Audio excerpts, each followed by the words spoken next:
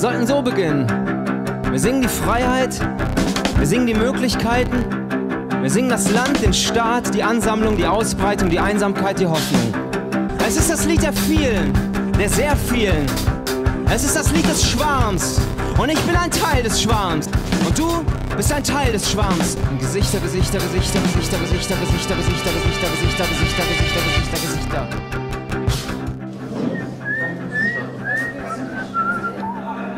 Kann sein, man als Mechaniker Schrauben gelockert oder äh, irgendwas in die eigene Tasche gewirtschaftet.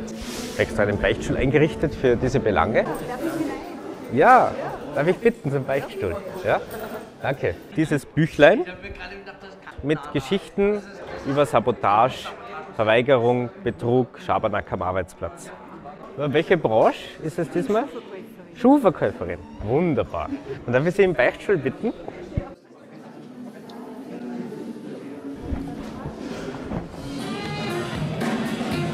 Fühlst du dich jetzt leichter? Um einiges.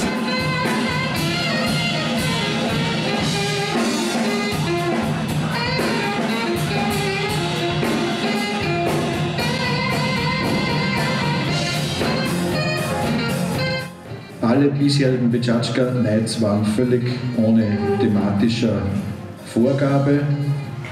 Heute gibt es dieses Motto frei von Schuld, frei von Schulden ganz einfache, ganz simple Regel zu entwickeln, nämlich 20 Folien a 20 Sekunden. Aus dem heraus ist die Marke Bechatschka Night weltweit entstanden. Besonders die zarten Knaben, die Heimweh hatten und wenig Rückhalt von zu Hause oder von weit weg waren, selten besucht wurden, waren sowohl bevorzugte Gewaltopfer als auch bevorzugte Missbrauchsopfer. Bücken, bücken. Es gibt kein Geld, das nicht ein Schuldgeld ist. Money is what money does. Wir brauchen eine gesellschaftliche Debatte über Gerechtigkeit und Fairness. Das größte Manko der Menschen ist einfach unsere Unfähigkeit, die Exponentialkurve zu verstehen. Das ist Tumor und Krebs. Und heute stehen wir vom Abgrund und morgen sind wir einen entscheidenden Schritt weiter. Danke für. Ich würde so weit gehen, dass was jetzt anstehen könnte, das könnte münden in so etwas wie einen sozialen Krieg gegen die Armen, nicht nur in Griechenland, sondern gegen die Armen in ganz Europa. Also das Erste, was man feststellt, das ist, dass die Schulden ein Vorwand geworden sind, um äh, Sparpläne da aufzuzwingen. Schulden werden auf den Staat abgewälzt und somit auf die Menschen in einem Staat. Muss man eigentlich wirklich unbedingt diese Schulden zahlen? Das sind handfeste Interessen von denen, die Vermögen haben und zwar im großen Stil. Das heißt, wir sehen ein Regulierungsversagen und auch ein massives Verteilungsproblem. Was tue ich mit dem Geld als Reicher, wenn ich schon vier Maserati habe und einen äh, Ferrari? Dann geht's ins Casino. Dieses System ist in dieser Form nicht mehr zu retten. Also ich habe mich mal gefragt, ob man Kapitalismus nicht überhaupt als Symptom einer Geisteskrankheit sehen könnte. Wir brauchen keine Doktoren am Krankenbett des Kapitalismus, wir brauchen Totengräber. Auch ganz euh, aufgeregt von Ihren Fragen. Selten wird über Systeme, über Kapitalismus so gesprochen. Schulden sind auch ein Instrument, um äh, ein Volk äh, zum Bändigen ja, zu beherrschen. Und wie kann man eben zum Fall des Kapitalismus kommen? Einfach durch Kampf. Mobilisierung der Bevölkerung. Und jetzt kommen wir zu den Strategien. Ja, wieso warten wir dann noch? Jeder bekommt das ganze Geld von irgendwem, der sein ganzes Geld, das er in Händen hält, für sich behält. Ja, herzlich willkommen zum zweiten Dead or Alive Poetry Slam hier in Salzburg im Rahmen des Open Mind Festivals. Ihr hockt in euren Prada-Westen, verstockt in euren Glaspalästen und schreibt euch übers Fensterkreuz RIP, Residence in Peace. Der Text heißt Rufmord oder Österreich, du Opfer. Nee, ich hatte nie etwas mit Gas zu tun. der Riesenschornstein. Und da sagt Höst zu mir, ja, sagte er, da ist Kapazität 10.000. Lernen Sie, verehrtes Österreich, dass Sie kein Opfer sind. Lernen Sie, dass die Kronenzeitung die meistverkaufte Zeitung Österreichs ist und immer noch mit Titeln wie Beinamputierter auf freiem Fuß gelesen wird. Aber du kannst ja nichts dafür. Mein Land am Strome, du, du bist ja das Opfer. Wir sind unser eigener Ameisenmann. Ameisen können das 1000 Millionen, 1000 Millionenfache ihres eigenen Körpergewichts tragen und bauen nichts als hässliche Haufen. Einfach, weil es alle machen. 3, 2, 1, hoch. Sabine mit einer glatten 9, 9,0 Punkte. Und hey, der Sieger heute Abend, Julian Heu! Wir haben jede Woche Kundgebungen vor den Geschäften von Kleiderbau abgehalten. Die verdeckte Ermittlerin mit dem erfundenen Namen Danielle Durand war auf Antrag der Soko im April 2007 unauffällig in den Verein gegen Tierfabriken eingeschleust worden. Insgesamt soll es über 100 Observationen gegeben haben. Durchgeführt wurden die Observationen von eigenen Observationsteams des Bundeskriminalamts. 19.01 Uhr. Zielperson 7 verlässt mit einer Pizzaschachtel die Pizzeria und geht stadteinwärts.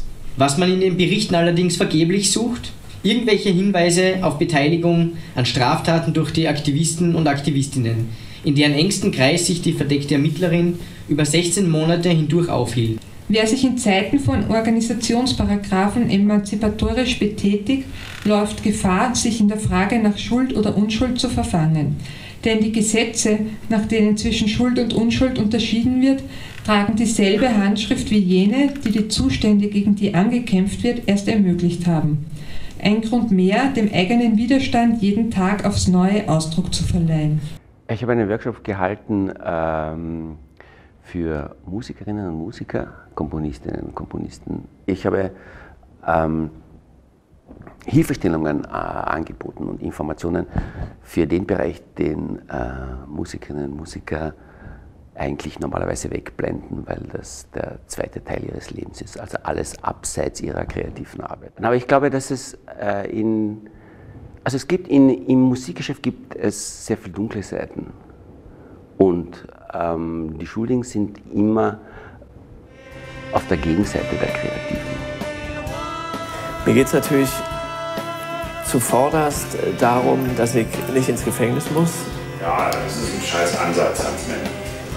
Das war klar. Das funktioniert. Beim Laufen kann ich besser denken. Beim Autofahren kann ich besser komponieren. Und das ist ja, das ist ja, eigentlich muss ich nur das dem Gericht plausibel machen. Weil das ist einfach ein Arbeitsmittel. Schwarz-Rot-Gold ist das System. Morgen wird es untergehen. Eins ist klar, du musst dein Leben ändern. Ja. Das ist ganz klar. Deswegen trinke ich erstmal einen Jägermeister. Genau. Ich werde wahrscheinlich mein ganzes Leben lang mit Gefängnissen zu tun haben.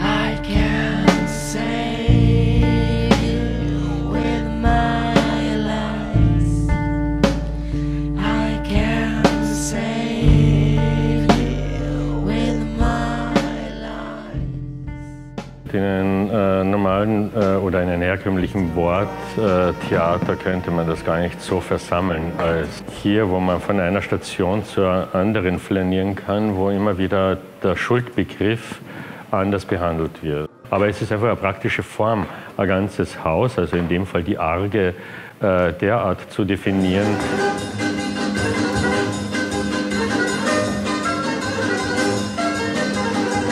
Er kommt dann in die Inszenierung, in den Hauptsaal. Vorher wird er empfangen von einer sehr netten Dame, die ihn schon billig entschuldet durch Schuldentausch. Dann flaniert er vorbei an der Schuld-Schund-Bibliothek mit lauter Groschenromanen. Aber es gibt auch ernste Literatur wie die Bekenntnisse von NS-Verbrechern wie Keitel, Seyß-Inquart, die zwischendurch auch vorgelesen werden. Hier geht es ja auch um einen lustvollen Umgang mit Schuld. Wie kann man eigentlich äh, Schuldgewinnler sein? So wie es halt Kriegsgewinnler gibt oder irgendwo auch Spaß dran finden, beschuldigt zu werden. Da, wo es interessant wird, hört es ja auf.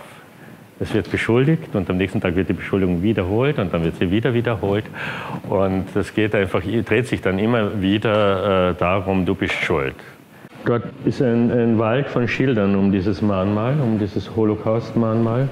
Und wenn man sich dann jetzt dann hier drauf liegt, kann man eigentlich ganz gut äh, nachempfinden, die Schuld, die man sich dadurch auf sich lädt geht dann einfach zur nächsten Station. Das ist eben der Sinn eines Stationentheaters, dass man dann da in diesen Trog steigt und sich selber Asche aufs Haupt wirft oder streut. Und schon ist man wieder entschuldet und entschuldigt. Die Entscheidungswippe, schuldig, unschuldig, das ist gegen die Dicken. Und da wird man unten gesteinigt für Rauchen und hier verlieren einfach die Dicken. Meine Entschuldigung für dieses Stück. Puh. Ups. Ich sag fast nie Entschuldigung, ja. Das ist meine Entschuldigung. Portal 2 hoch 4 ist ein 16er. Extrem und das Floß immer fesselnder. Der Text, der bis jetzt mir ins Squad deinen Kopf penetriert, bis die helfende Rettung naht. Ja, Rapper waren ein Rap-Pokal und geht die Stimmung in den Webpokal. Ja. Verlier Besinnung, aber niemals Stimme und im Inneren geliebt bestimmt ein Exponat. Stopp, dies kein Lied, dies kein Job. Keine Minderwertigkeit, kein Komplott. Dies kein Lied, dies kein Look. Keine Kinder singen und klingen und rot. Dies kein Beat, dies kein Sport. Über der Audios im Sport. Drops, dies kein Spiel, Spiele mit Gott. Ganz klar, bloß Neidlos und Stopp. Dies kein Lied, dies kein Job, keine Minderwertigkeit, kein Komplott. Dies kein Lied, dies kein Look, keine Kinder singen Ding so ein Hut. Dies kein Beat, dies kein Sport, nur Radio aus dem Spot. Drops, dies kein Spiel, Spiele lässt Gott. Ganz geil, es gleich draus sagt, stopp.